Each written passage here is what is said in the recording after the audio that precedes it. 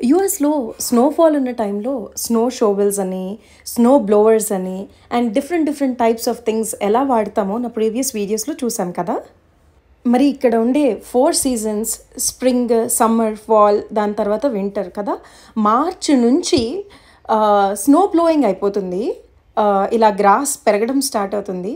So మనం వాడే products and instruments కూడా చాలా చేంజ్ అవుతాయి అన్నమాట సో మార్చ్ నుంచి మనం ఏం వింటాము అంటే lawn mowers trimmers leaf blowers ఇవే టర్మ్స్ వింటూ ఉంటాము.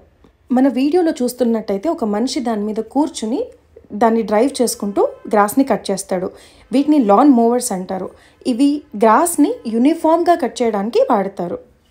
గ్రాస్ ట్రిమ్మర్స్ ఏమో ఇలా ఉంటాయన్నమాట. ఎడ్జెస్ని షార్ప్ చేయడానికి గ్రాస్ని చిన్న చిన్నగా కట్ చేయడానికి వాడతారు. ట్రీస్ని కట్ చేయడానికి వాడతారు. అలాగే వీడ్స్ని కూడా తీసేస్తాయి. ఫైనలీ ఇలా లీఫ్ బ్లోవర్స్తో దారిలో పడిన గ్రాస్ అండ్ డ్రై లీవ్స్ అన్నిటిని బ్లో చేసేస్తారు. ఈ వీడియో ఎండింగ్లో ఈ మషిన్స్ యొక్క న్యాచురల్ సౌండ్ ఎలా ఉంటుందో మీరు అబ్జర్వ్ చేయొచ్చు. Do not forget like and subscribe